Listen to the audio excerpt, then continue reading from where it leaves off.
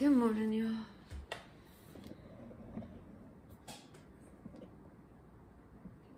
Oh, we need light. I was up really late last night. I did a workshop for the San Francisco Psychedelic Society. And then I stayed up working on smoke blends and stuff. And I woke up this morning thinking about probably the worst thing that plagued me the most before I found Amanita. It just got so overwhelming and exhausting. So last night I spoke. Y'all can see the recording. They've got it over. I'll find a link. I'll put a link somewhere in here to it. But I spoke, whatever. And then we opened up for questions. And someone asked, the very first question was really personal. And I answered it because y'all know me, I'm an open book. I don't really, don't have anything to hide. But it seemed stacked and loaded. It was full of manipulation and innuendo. I mean, it was just really, it wasn't an honest question. But I was in a really open place and I answered it. But it just felt icky. I mean, I don't regret anything that I said, but, but, I woke up this morning, and I mean, the very first thought as soon as I opened my eyes was, ew. Not because I said anything I regret, everything I said was true and honest, but I just had this gross feeling and like, why didn't I say that's just really too personal? Why didn't I set a boundary? That wasn't the right atmosphere, time, place.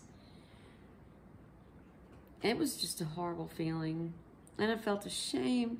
Like, I should have known better. And why would she have even asked something like that? You know, she was reading, a, one of the viewers had written it, and she was just reading it. And I'm sure she just thought, hey, it's a long question. It seems thorough, whatever. Things were moving quickly in my head. And what I had to remind myself of is number one, you can't always be perfect and answer things or do things perfectly in the moment. And I mean, I'm sitting there on the spot with over a 100 people. My mind's going. I'm processing the energy of the people, and I was in an open place. But then I realized, you know, it's not, it wasn't about last night. There's nothing wrong with last night. Nothing wrong with the question, nothing wrong with the answer. It was that that manipulative sense in it, that loaded question in it, that stacked feeling in it, that sense that this is not what it seems, it's not honest, is so much like our childhoods and the way we've been treated. And it will make you question yourself. It's called crazy making behavior. It's verbally and emotionally manipulative and abusive. And stacked loaded questions are manipulative and abusive. And they're designed for you to fall into a trap. And no matter how hard you sit and think about it, you're not going to know what the trap is. And it's a perfect trap because when you're in a volley situation with a conversation, you know, I speak, you speak, I speak, you speak, there's a flow to it. And it's a perfect chance to trap someone because we're conditioned as humans to not let there be silence and to not think before we speak, to, to keep the flow going. And then when you're trying to answer a question that's manipulative and loaded and you get this feeling like, hey, something's not right here. This doesn't seem like a fair question. It's just indicative that you're not the problem, but it's designed to make you think you are. Because you can't win no matter how you answer a question that's loaded and manipulative, you're going to lose. And what's worse is it was recorded and now it's going to live forever for everybody to see. But again, like I'm not ashamed of anything I said or how I answered it, but it could be used to trap me later when anybody wants to talk about me or criticize me because it's the way the question was worded it was a trap and there's no right or good answer so the only answer i could give was my honest answer and then live with that and know that i'm i'm okay but it got me thinking this morning. Hold on i need more coffee.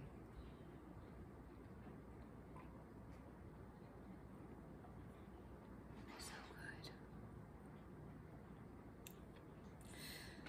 It got me thinking about how a lot of us spend most of our time going over past events wondering where we fucked up, feeling like we're the problem, knowing we're the problem, trying to figure out how we're the problem.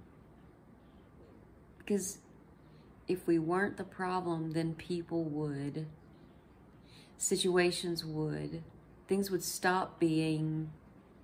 And see that's that's the issue right there is when you make that assumption that if you were a better person then you would get the things you want and the things that you don't like would stop happening and shitty situations would stop happening and I'm telling you now, after two years of Amanita and feeling pretty good about my choices,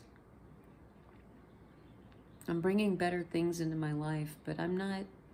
I've brought more shitty people around.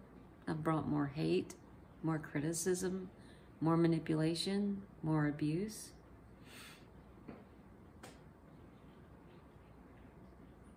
Think when you, the better that you become, that you feel, the better that you feel like you behave, the better decisions that you make, you're going to attract more sick people because all it's doing is shining a light on their sickness. When you lose weight, get a better job, smile more, feel more fit, um, feel happier and, and less depressed, less anxious, when you start going after goals and managing to do it, then all of the people around you that have settled into liking you the way that you are They've worked out their hierarchy of where they fit. They think they've figured you out and they either use you as the token person in their life they can dump on or they like to feel like they're superior to you so they can always just call you up when they don't feel so good so they can feel better about themselves so that they can judge you or they need to use you or they need to feel like, you know, misery loves company.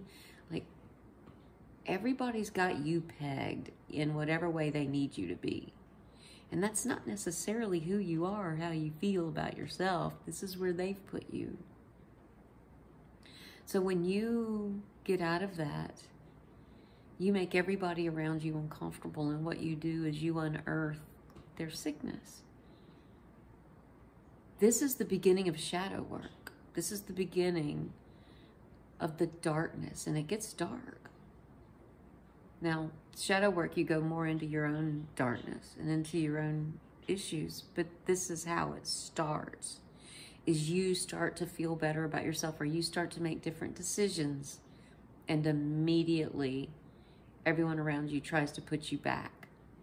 And the more you stand up for yourself and the more you say no or set boundaries and get people out of your life, the more lonely you're going to be the more confused you're going to be, the more unsure you're going to be that you're doing the right thing. And it will shake your foundation of what you're doing. But you're not the problem. But they'll try to make you think you are. People don't like to take responsibility. So the best thing you could do is set a boundary. That's how you find out who really respects you and who doesn't it's really amazing.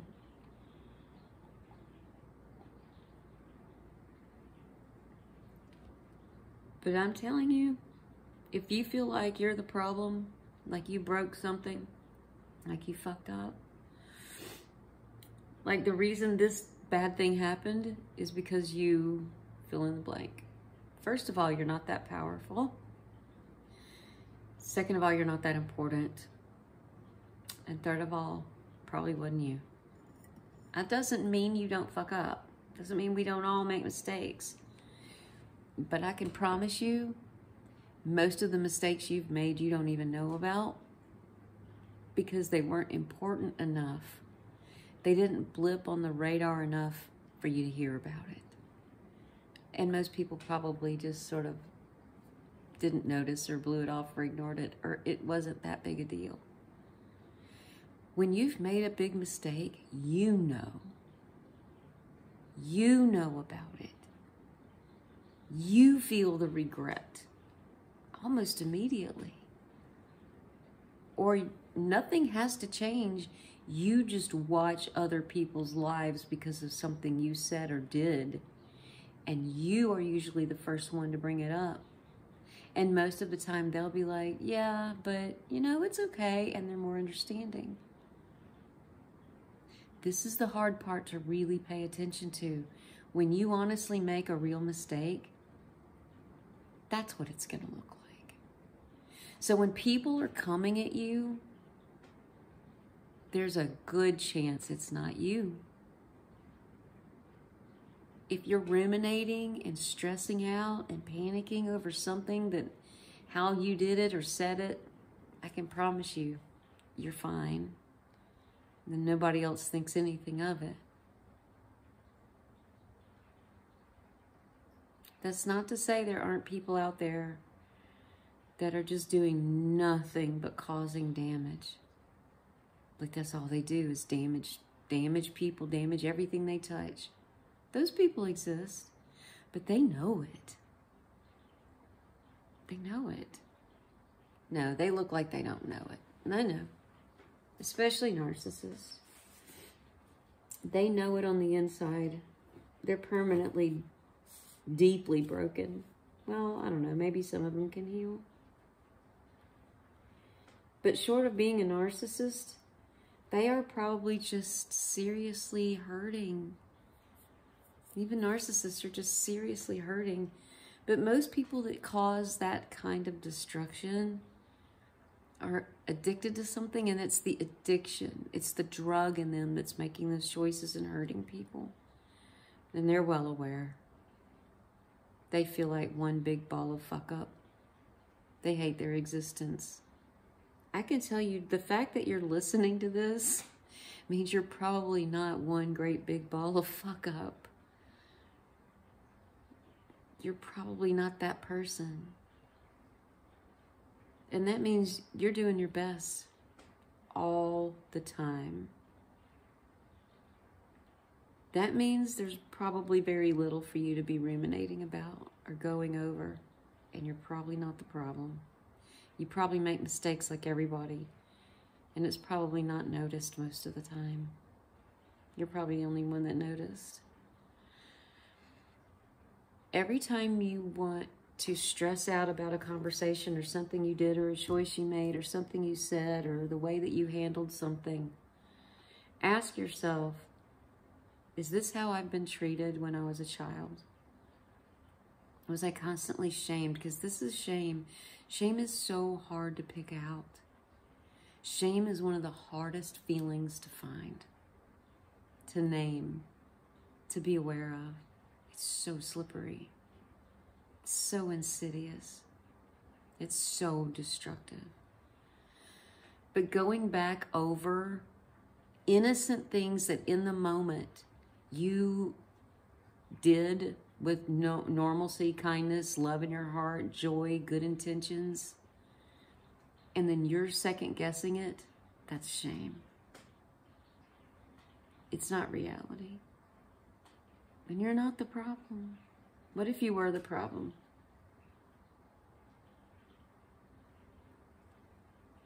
Are you not the kind of person that would fix it the minute you found out? Look at all of the things around you that you worry about. Do you think if you were really the problem, that if you could magically fix it, that all of this stuff would just magically stop happening? That's what I mean when I say you're not that powerful. Because you're not the problem. some people are that powerful. Some people really are the problem and they just, they cause destruction. And when they stop drinking or stop doing that drug or whatever, suddenly everything's better. Like they really were that powerful. But short of that, you're just not that powerful because you're just not that big of a problem. You're not the problem. And if you have people in your life trying to tell you that you are, and you have looked at it and looked at it and looked at it, and you can't see it, you're probably not the problem. If you're constantly working on it and constantly trying to fix it, then you're not the problem.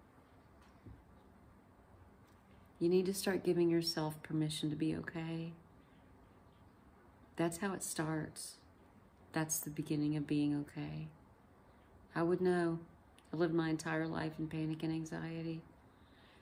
I lived my entire life being gaslighted and abused and being told how fucked up I am.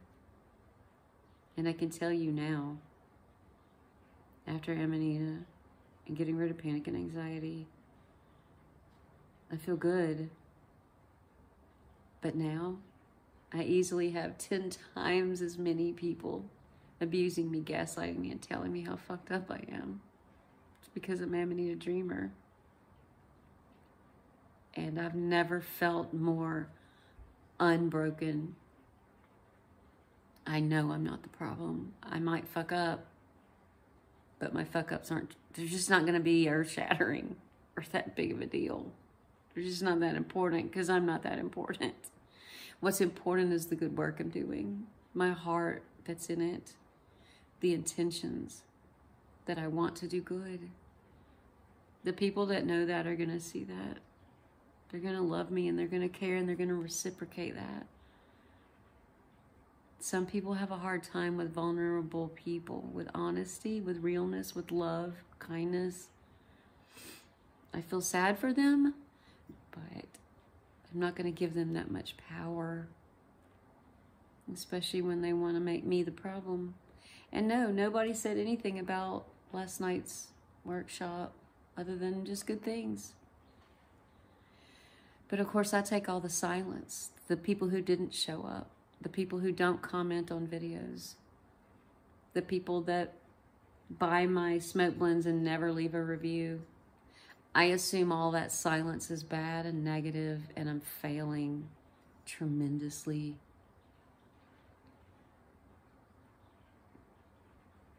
I'm not the problem. I'm not the answer, but I'm not the problem.